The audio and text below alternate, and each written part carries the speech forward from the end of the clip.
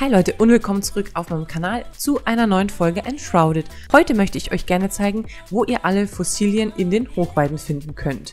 Wenn ihr Bock habt, scannt die beiden QR-Codes, die sind einmal für meinen Discord-Server und einmal für mein Instagram. Und vergesst nicht einen Daumen nach oben zu geben, zu abonnieren und die kleine Glocke zu aktivieren, wenn ihr keine weiteren Videos mehr verpassen wollt. Ja, und dann würde ich auch schon sagen, wir starten rein. Viel Spaß und let's go! So, und da sind wir auch schon wieder zurück in der guten Stube. Wir reden von Fossilien und wir reden auch von der entsprechenden Deko für diese Fossilien. Die findet ihr beim Schreiner und zwar hier unter Dekorativsammlungen. Dort gibt es jetzt die verschiedensten Ausstellungstische für die ganzen Fossilien. Hier haben wir eine Vitrine mit drei kleinen und zwei mittleren.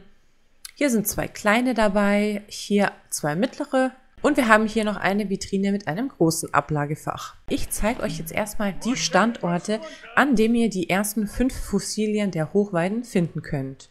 Der erste Standort befindet sich tatsächlich gar nicht weit von meinem Zuhause und zwar ist er hier neben der Nekropolis. So, und da sind wir auch schon.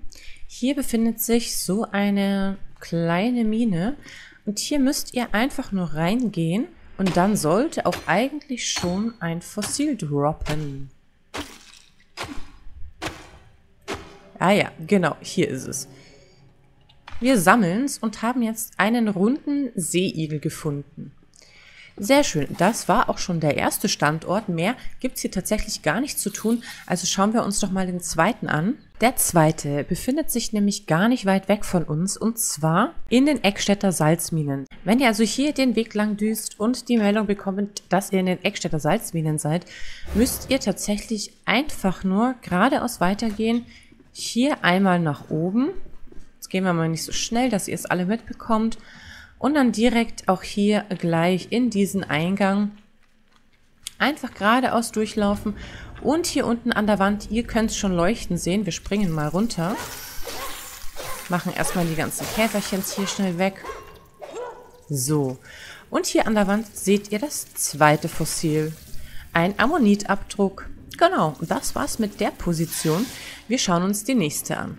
Die nächste Position befindet sich unmittelbar bei der Niederauenwarte und zwar hier unten neben dem Refugium der Flamme. Wir fliegen also hier auf dieses Gerüst zu und wenn wir dann hier links neben dem Gerüst gelandet sind, müssen wir einfach nur zu diesem kleinen Holzsteg einmal hier runter gehüpft und schon haben wir hier das nächste Fossil und zwar den erhabenen Seeigel. Ja, so schnell kann es gehen tatsächlich. Wir schauen uns das nächste an. Das nächste Fossil befindet sich hier. Wenn wir dann von der Niederauenwarte hier runterfliegen, dann fliegt in Richtung dieses Gebäudes hier, landet hier unten,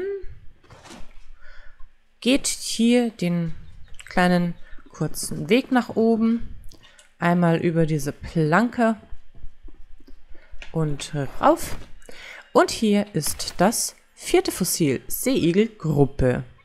Und das letzte Fossil befindet sich hier beim Salzbergwerk direkt neben der Flammenkrypta.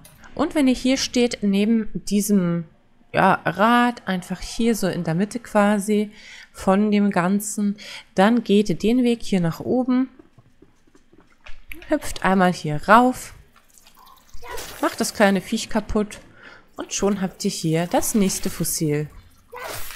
Und zwar einen großen Ammonit. Genau, so sieht das Ganze dann aus. Und das war eigentlich schon das ganze Video zu den Fossilienstandorten.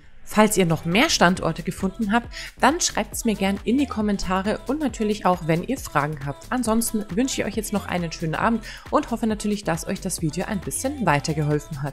Wir sehen uns beim nächsten Mal. Viel Spaß und bis dann!